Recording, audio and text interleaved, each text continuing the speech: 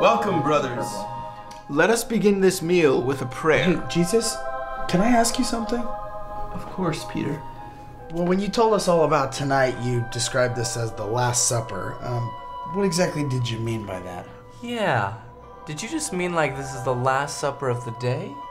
Obviously, it's the last supper of the day, because if it wasn't, we'd have two suppers. And two suppers is one supper too many. I'm afraid I shall be leaving you all for quite some time. Now, let us enjoy this meal, for it will be our last. Uh, hold on a second, Jesus. You're saying this is our last supper together because you're leaving. But when are you leaving? yeah, are you leaving like literally right after supper tonight, or? Yeah, or tomorrow, before supper, uh, after breakfast and lunch. Because, you know, if you don't leave until after lunch tomorrow, we could always do a last lunch. Or if that's pushing it, last brunch? I love brunch.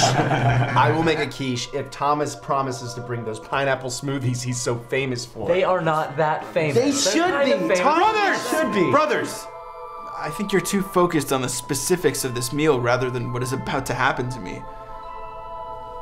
For someone at this table has handed me over to die.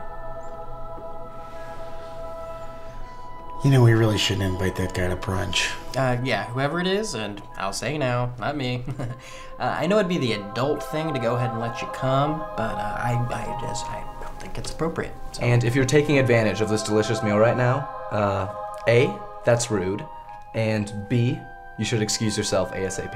I am going to be betrayed and you all will stray away from me. Hey, Jesus, don't worry. We wouldn't make you clean up after supper all by yourself. We'll help. We'll help. Uh, yes, Judas. Hey, sorry, I have an appointment tomorrow, and I was wondering if we could bump brunch to maybe like 9:45-ish. Well, 9:45 wouldn't be a last brunch; it would be a last breakfast. Yeah, but it's just I can't make a brunch, but I really want to come. Or maybe we don't reschedule the last brunch for Judas. Uh, w- w- what time is your appointment? it's it's noon. Oh, you can totally make it. Brunch at 11. Leave at 11:45. You're fine.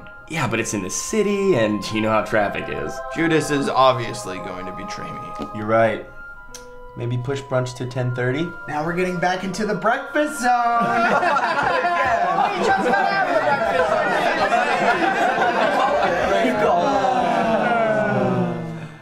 Well, you've all got to make sacrifices sometimes, you know, where you're not giving. You're not giving. Uh, you know, is there any way you could push your appointment back? I don't think so. You know, it's fine. I'll rush. Brunch at 10:45 is perfect. Oh, by the way, I'm coming into a bit of silver, so tomorrow, my treat. well, thank you, Judas. That's very kind of you. So tomorrow, last brunch, 10:45. Okay, it's settled. Last brunch, 10:45 sharp, and I mean sharp. Great. Now, who wants to play telephone? I do. It's so fun. Game is in party, so we're gonna play right now.